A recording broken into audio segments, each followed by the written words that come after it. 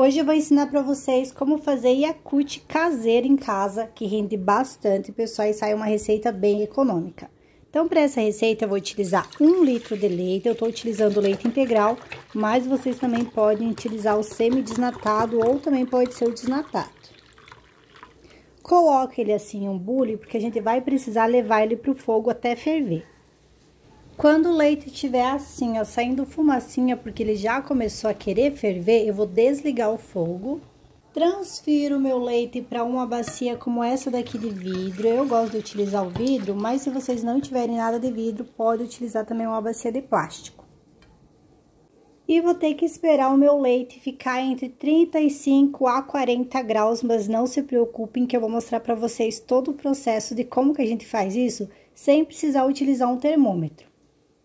Após o leite ter ficado aqui em cima da mesa, ele já chegou na temperatura ideal, que é entre 35 e 40 graus. E como que eu sei disso sem utilizar o termômetro?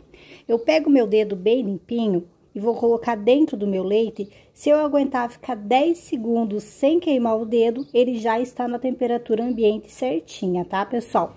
Só que também ele não pode estar muito frio, não. Ele tem que estar um pouquinho mais para morno. Então, você conta 10 segundos, se não queimar o dedo, já chegou nessa temperatura. Nesse leite, eu vou adicionar duas embalagens já do nosso Yakult, ó. Deixa eu mostrar pra vocês, ó. Nosso Yakult, ele tem 75 gramas cada um, então eu vou utilizar duas embalagens. E sim, pessoal, a gente vai utilizar o Yakult para fazer Yakult, porque a gente vai aumentar esses lactobacilos que estão aqui e vai completar e vai fazer um litro. Vou mexer para misturar bem. Então, a gente mexe bem para dissolver esses lactobacilos vivos do nosso Yakult no nosso leite. Aproveita enquanto eu misturo o meu leite para clicar no botão aqui embaixo, se inscrever no canal, ativar o sininho das notificações, porque aí sempre que eu postar um vídeo novo, uma dica nova, você vai ser avisado e vai assistir em primeira mão. Tampo, se vocês não tiverem uma tampa, podem colocar um pedaço de plástico filme por cima também. Pego uma toalha,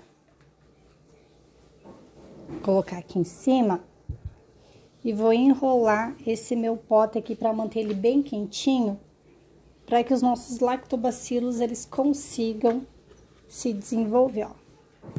Faço isso, faço uma trouxinha e vou levar isso daqui para dentro do micro-ondas ou para dentro do forno, que é um lugar bem fechado, desligado, tá, pessoal? Porque é um local bem fechado e aí vai manter quentinho e vou deixar lá por 12 horas. Nesse tempo, o leite ele vai fermentar e os micro-organismos vão se multiplicar, transformando o nosso leite em Yakult. Então, daqui a 12 horas eu volto pra gente continuar o nosso vídeo.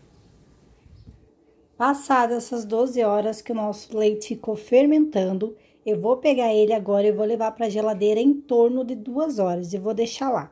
Quando o nosso leite fermentado já tiver duas horas lá na geladeira, a gente vai preparar a nossa calda que vai ser feita com 4 colheres de sopa de açúcar mascavo e 3 colheres de sopa de água, que eu vou levar para o fogo até dissolver.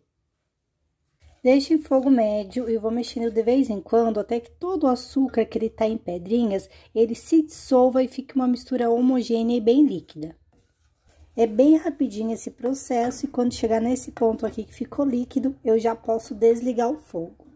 Antes de adicionar essa mistura no meu leite fermentado, eu vou precisar esperar esfriar bem para que essa mistura ela não mate os nossos lactobacilos vivos.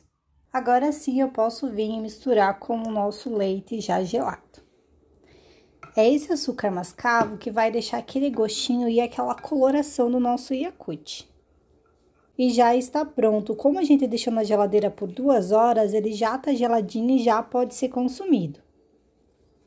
Eu gosto de armazenar o meu Yakult assim em uma garrafa de vidro e deixar na geladeira e consumir por até 10 dias. Pessoal, o saborzinho desse Yakult caseiro fica muito parecido com o comprado lá no supermercado e eu tenho certeza que se vocês fizerem aí na casa de vocês, vocês também vão gostar. Então, eu espero todos vocês no próximo vídeo.